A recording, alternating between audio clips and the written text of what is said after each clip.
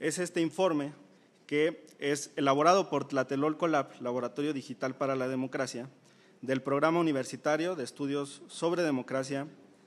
Justicia y Sociedad de la Universidad Nacional Autónoma de México. Hoy, la manipulación de la voluntad popular se da mucho antes de la celebración de los comicios. Las campañas digitales de desinformación masiva, organizada, la producción sistemática de noticias falsas en plataformas, la alteración de audios o videos con inteligencia artificial, por mencionar algunos, son métodos que se actualizan de manera constante y que tienen una clara intención de alterar la voluntad y el imaginario de las personas votantes.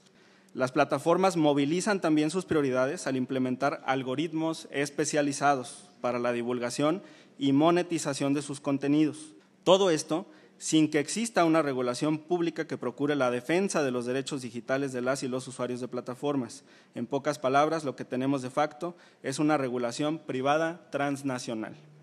Entonces, el dilema no debe ser si regular o no, sino qué tipo de regulación queremos. Una regulación privada transnacional que privilegia los intereses de unos cuantos y que no le preocupa contar con un estándar mínimo de respeto a derechos humanos,